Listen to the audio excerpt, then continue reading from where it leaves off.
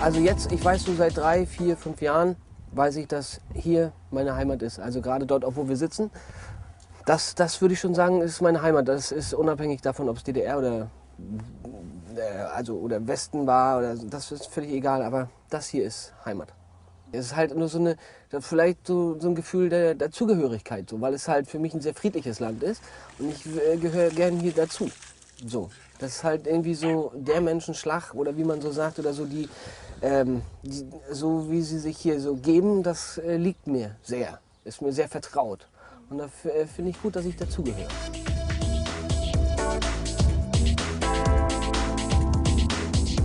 Das ist natürlich komisch, weil es sind natürlich genau die Leute gewesen, also weil es, äh, warum man raus ist.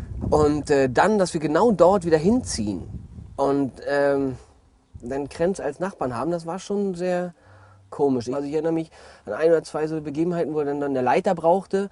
Oder auch ganz typisch, er hat mich mal, also mich direkt mal nach Eiern gefragt, ob ich ein Ei hätte, weil seine Frau da irgendwie einen Kuchen machen wollte. Also er war auch immer freundlich, hat immer gegrüßt und so. Aber naja.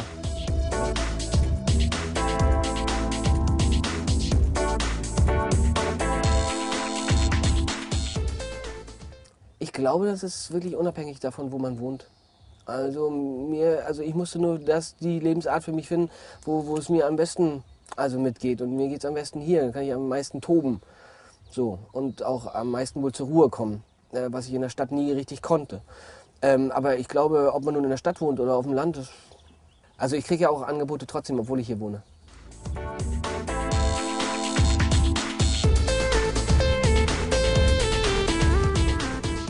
Ähm, ich würde, also ich weiß jetzt nicht, ob es genau die Frage ist, aber ich würde es mir wirklich sehr wünschen, hier mal, auch in meiner Gegend, dort wo ich wohne, mal einen Film zu drehen. Also einen schönen Film, also einen richtigen Mecklenburger Volksbauern Tölpel-Film oder wie man auch immer das, das hört sich jetzt also doof an, aber mal einen richtig schönen Film hier drehen. Aber die Möglichkeit, glaube ich, ist ziemlich gering.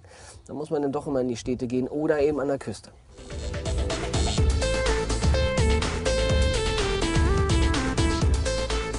Also ich habe mich sehr gefreut, den Grimme-Preis zu bekommen. Sehr. Ähm, und heutzutage ist es aber auch so bei den Einstellquoten, das ist ja nun alles. Also mir, mir wäre natürlich auch lieber, so wie bei Dr. Psycho zum Beispiel, da war die Einstellquote miserabel. Da hätte ich mir aber gewünscht, dass es weitergeht. Ging aber nicht. Naja, insofern muss man sich da, glaube ich, ein bisschen jetzt zur Zeit unterwerfen, obwohl es, das System, glaube ich, nicht ganz so gut ist.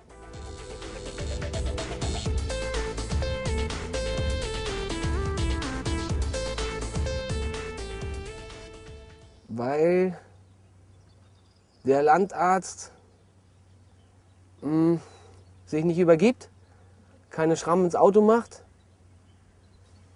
und vielleicht den Frauen nicht auf den Hintern guckt. Also äh, der Landarzt, ist, das Prinzip ist ja einfach, dass es ziemlich glatt ist. So. Also es passiert ja immer von A nach B und nach C, das kennt man alles und da äh, wird man selten überrascht. Also selbst wenn der Landarzt aber eine Überraschungsfigur wäre, also die sich immer selbst wieder überraschen würde, dann würde ich auch den Landarzt machen. Aber so ist es nicht angelegt, insofern hätte ich da nicht so eine große Lust drauf.